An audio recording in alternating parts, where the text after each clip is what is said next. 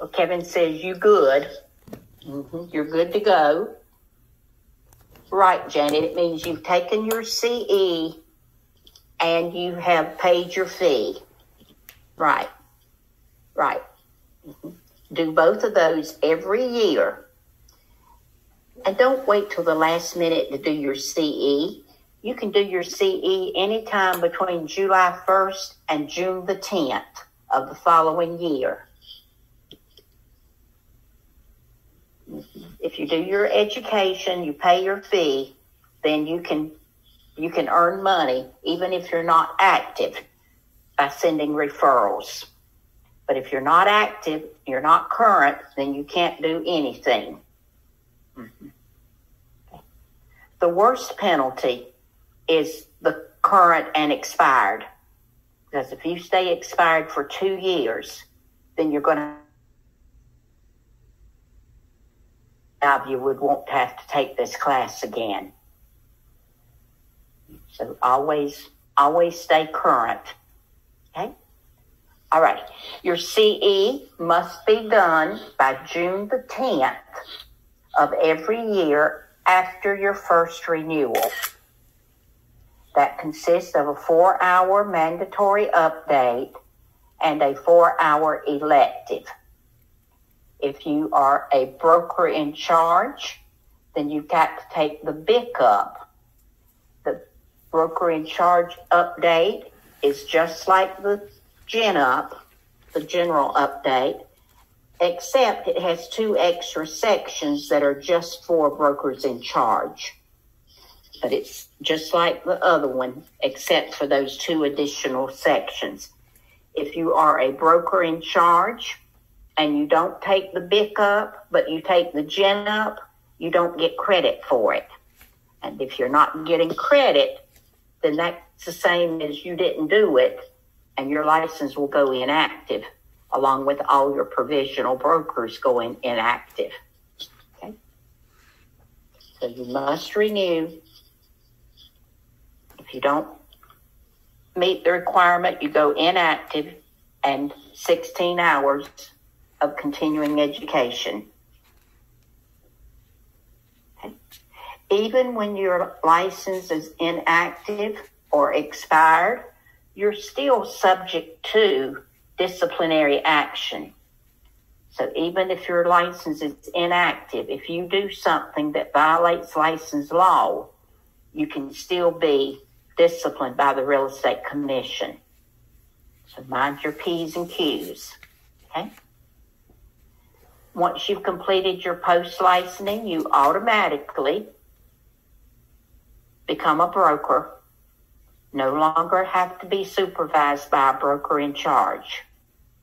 But you do have to um, fill out a form.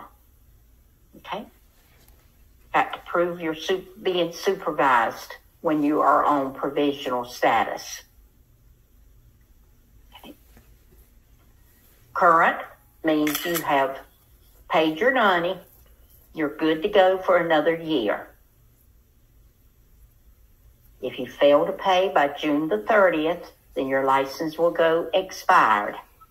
And with an expired license, you can do no work. Okay.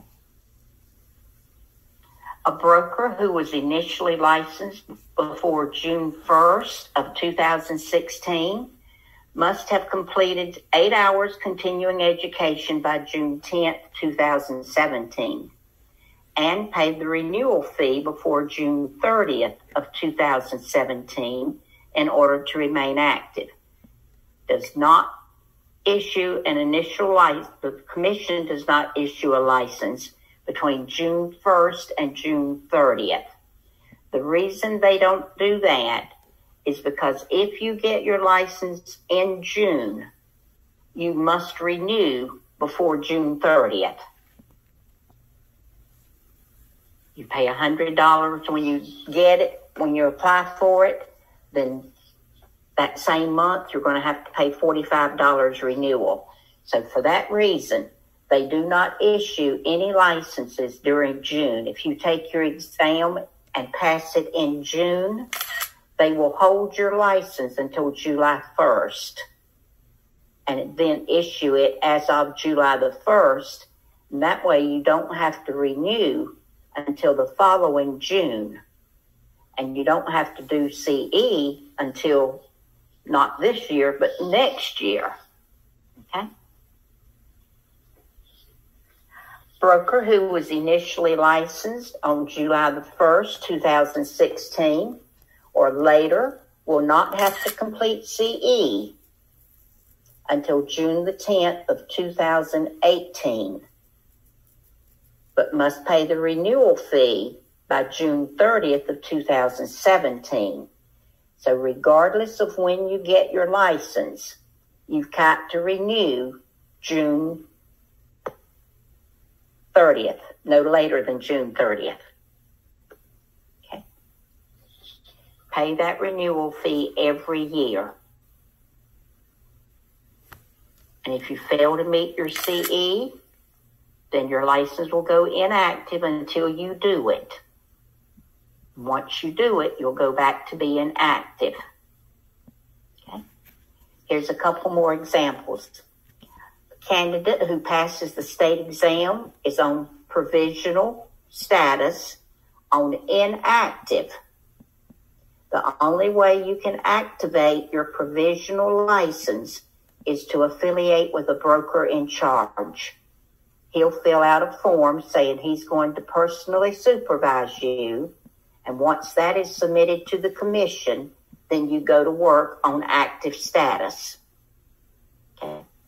If you were licensed on September the 23rd and does do not complete at least one 30 hour, no, we're not even going to go there not going to do that example because it doesn't apply anymore. That's talking about the three year, one a year, and that doesn't apply to y'all.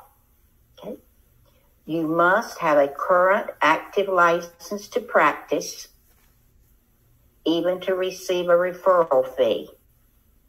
You cannot be compensated if you don't have an active license. Now, there is an exception to that let's suppose you have an active license and you have done the work to close a deal. You're representing a buyer, for example, and you've done everything to get that deal ready to close. And then you say, Oh my gosh, I forgot to do my CE before June 10th. July the 1st, your license is going to go inactive.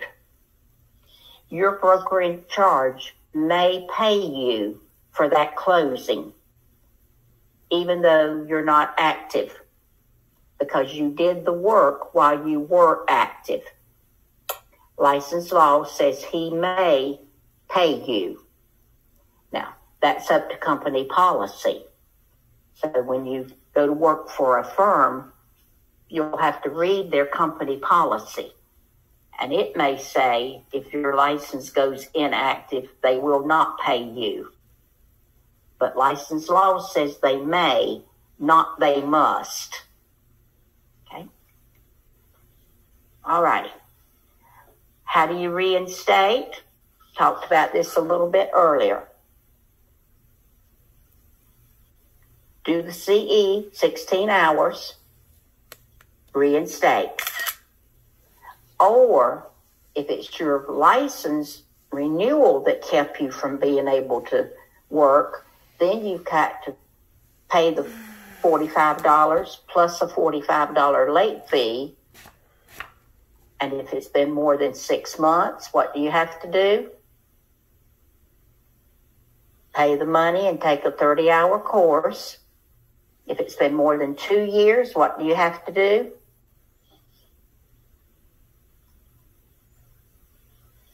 Start all over. Two, two years expired. You're going to take this class again. Yeah, if you want your license again. Okay? All right. Brokers in charge have to supervise provisional brokers. The rule says they personally and directly supervise you. They're supposed to look at everything you do to make sure it was done correctly as a provisional broker. And if you do something wrong and the commission wants to talk to you about it, then your broker in charge is going to have to go to Raleigh with you. They will look at you and say, why did you do what you did? And you'll explain it. Then they're going to look to your broker in charge and say, why didn't you supervise better so they would not have made this mistake? So both of you could get disciplined by the commission because you did something wrong while you are on provisional status. Some students say, well, I want to stay on provisional status as long as I can. Well, that's a good argument. And others say, I want to get rid of it as soon as I can. That's a good argument too. It's up to individual preference as to what you do. But that broker in charge is responsible for everything you do as a provisional broker. Payment of your fees, June the 30th. June the 30th of every year, regardless of when you get your license.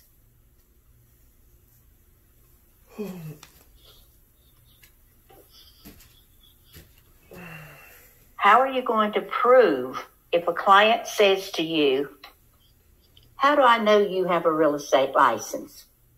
How are you going to prove that to them?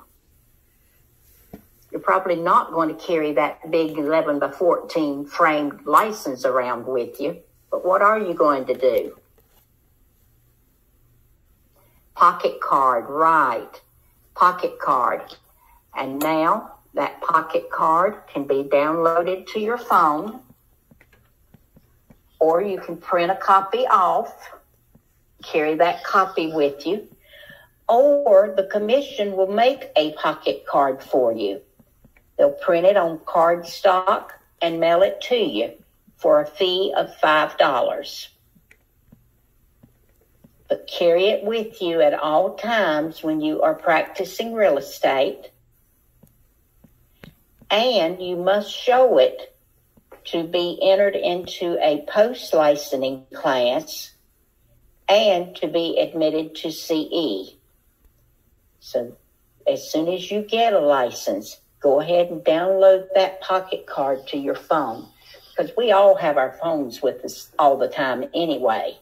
If you've had it on your phone, then that's the most convenient way to show it when you're entering a class.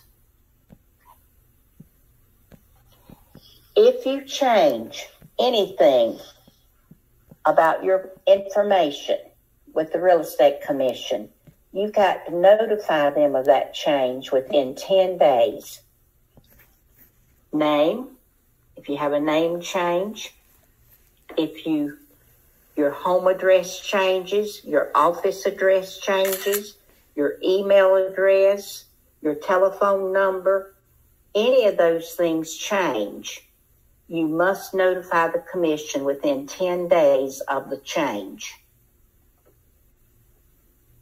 if you change firms, you, the broker that you are leaving has to notify the commission that you he is not your supervising broker any longer.